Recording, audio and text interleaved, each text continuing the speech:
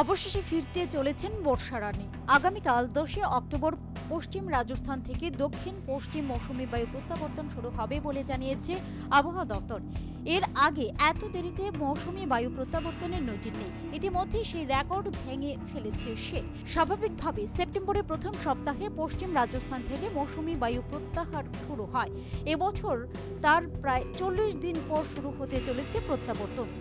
ফলে গোটা অক্টোবর নাগাড়ে বৃষ্টি হয়েছে উত্তর ভারত জুড়ে, যার ফলে মধ্যপ্রদেশ, বিহার, উত্তরপ্রদেশ ও রাজস্থানের একাংশে বন্যা পরিস্থিতি তৈরি হয়েছে। মৌসুম ভবনের তরফে জানানো হয়েছে, উত্তর পশ্চিম ভারতে একটি উচ্চচাপ বলয় তৈরি হয়েছে। সঙ্গে বাতাসে কমেছে, আপেক্ষিক আর্দ্রতার পরিমাণ। যার ফলে মৌসুমী বায়ু প্রত্যাহারের অনুকূল পরিবেশ তৈরি হয়েছে। পরিসংখ্যান তুলে ধরে আবহাওয়া দপ্তর জানিয়েছে, গত আটান্ন বছরে মৌসুমী বায়ু প্রত্যাহারে এত দেরি কখনো হয়নি। এর আগে উনিশশো একষট্টি সালে পয়লা অক্টোবর ভারত ভূখণ্ডের উপর থেকে মৌসুমী বায়ু প্রত্যাহার শুরু হয়েছিল। তবে এবারই প্রথম নয়, গত আট বছরে চারবার মৌসুমী বায়ু স্বাভাবিকের থেকে লক্ষণীয় দেরিতে প্রত্যাহার হয়েছে।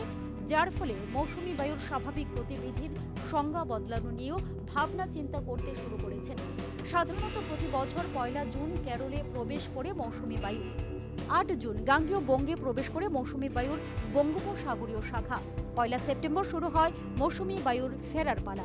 সেপ্টেম্বরের তৃতীয় সপ্তাহে দক্ষিণবঙ্গ থেকে ফিরে যায় বর্ষা। আগামী তেরো থেকে পনেরো অক্টোবরের মধ্যে দক্ষিণবঙ্গের ওপর থেকে মৌসুমি বায়ু প্রত্যাহার হতে পারে বলে অনুমান। স্বাভাবিকের থেকে প্রায় পনেরো দিন দেরিতে। চলতি বছর কুড়ি জুন কলকাতায় প্রবেশ করেছিল বর্ষা। ত্রিপুরা রাজ্য এবার স্বাভাবিক অবস্থার চেয়ে বেশি বৃষ্টি হয়েছে। Bureau report, news Vanguard.